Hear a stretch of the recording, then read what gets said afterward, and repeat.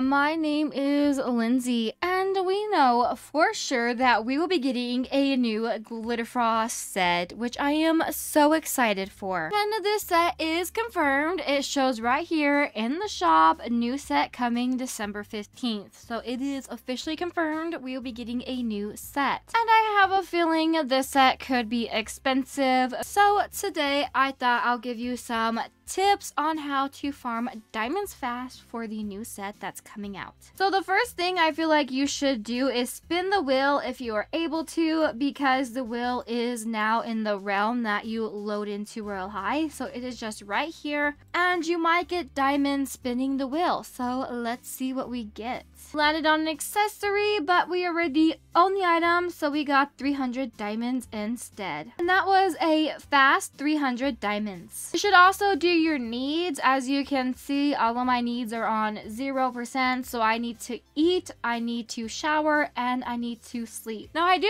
recommend eating and showering at the same time because it is doing two needs at once, so it does make things go by a lot faster. I'm not going to buy any food from the vending machines because I already have a lot of snacks in my backpack that I need to use up. Okay, so I'm in the shower and now I'm going to eat some of my food. I'm pretty sure some of them are glitched, so some of them I may need to throw away, which we can do because we now have a trash can in our backpack, so that is very useful. Okay, so everything is now at 100%, so I am just going to leave and we should get XP for our hygiene and our hunger. And this should also level us up, so we did level up. That means we got diamonds for leveling up. I do feel like with the current version of Royale High, ever since Campus 3 has come out, level up diamond farming, in my opinion, is the best way to get diamonds. And so now we're gonna do our third need, which is sleeping. When we finished sleeping, we probably won't level up this time, but we should be really close to leveling up again. So let's go ahead and see where this takes us. So it did take us to 54% full. And since you're in your dorm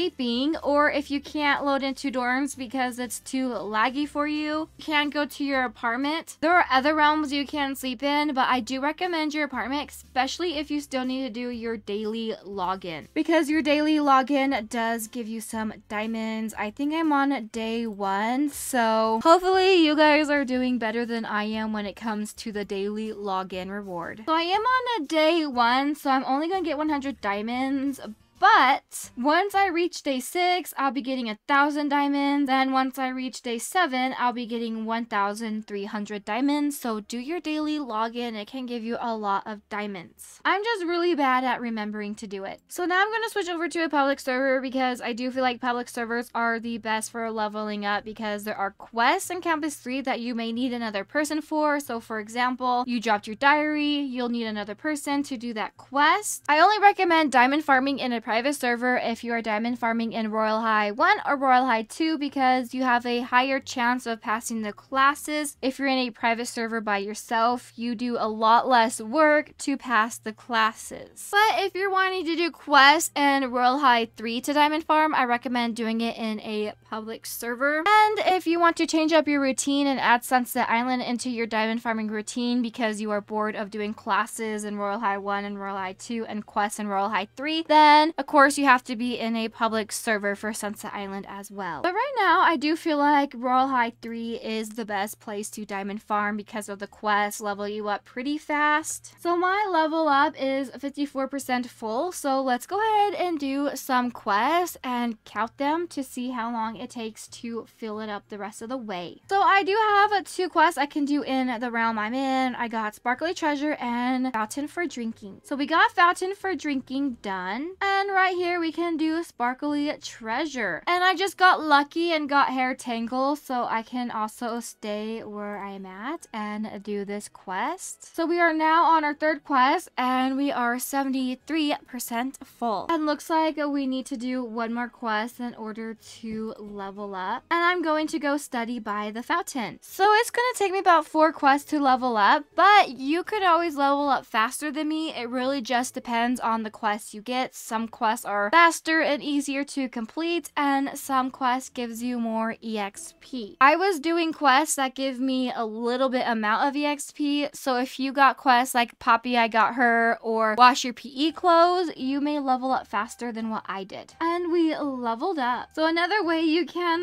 level up is musical chairs in the rainy day classroom. If you are good at musical chairs and you feel like you can either win or get in one of the top three spots, I really do recommend musical chairs because it is a fast way to level up. I'm not to do musical chairs right now because it's been a really long time since I've done musical chairs, so I feel like I won't do very good. So we talked about level up farming. And the realms you can level up farm in is Royale High 1 and Royale High 2. You level up farm in these realms by doing classes. I recommend doing classes in a private server. Or you can level up farm in Royale High 3 or Sunset Island, as well as Royal Archery. Royal Archery, Royal High 3, and Sunset Island you need to be in a public server for or if you have enough friends to do a round of Sunset Island and Royal Archery with friends in a private server, you can do that as well. I don't recommend Royal Archery because you do have to be really good at it in order to get a lot of XP. If you're like me and you're terrible, you're only going to get probably around 20 XP. So for me, doing Royal Archery is not a good option but if you're good at it, it could be a good option for you. There are other ways you can get diamonds. I don't feel like this way is very effective, especially since Enchantix High is gone, and I'm pretty sure they changed up the way diamonds spawn in servers. But that is going around realms and just picking up diamonds. You can do this in Sunset Island. So right here is a diamond. I found it pretty fast. I actually found it right away. So here is another one. So for Sunset Island, all you have to do is swim around and find the diamonds.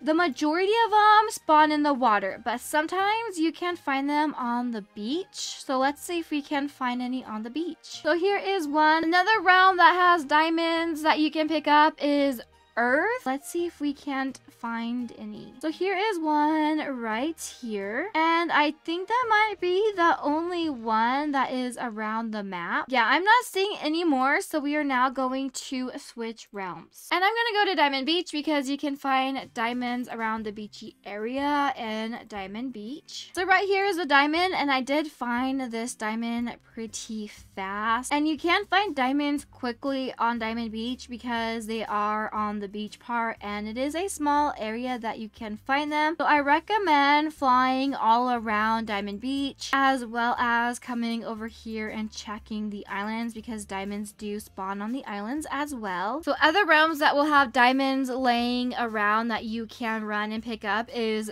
the beach house as well as Battle Law Royale Archery. So during a round of archery you may see a diamond that you can run and pick up but don't make diamond farming or picking up diamonds your main focus, make sure you're still saving your teammates at least. And of course, you can find diamonds around campus too as well. You might see some during lunch or in between classes and you can pick up those diamonds too to get more diamonds from campus 2. So Earth and campus 2, Diamond Beach, the beach house, Battle Law, Royale Archery, and Sunset Island, as well as campus 3 because you do have the quest where you have to pick up a diamond, are realms that will have a diamonds laying around that you can just run up and pick up to get more diamonds. Now again, this is not the most effective way to get diamonds, but I guess it could be a good change up in your routine if you get bored. But if you're in a realm like Campus 3 where you're already diamond farming in, or even Sunset Island if you're already diamond farming in Sunset Island, it's a good way to get more diamonds than what you would have if you did not pick up that diamond. So make sure if you see a diamond, you pick it up. So those are some ways you can diamond diamond farm as well as some tips to help you get extra diamonds. I hope this video has helped you and please make sure you like, subscribe, and turn that bell notification so you never miss when I post and I will see you in the next video. Bye!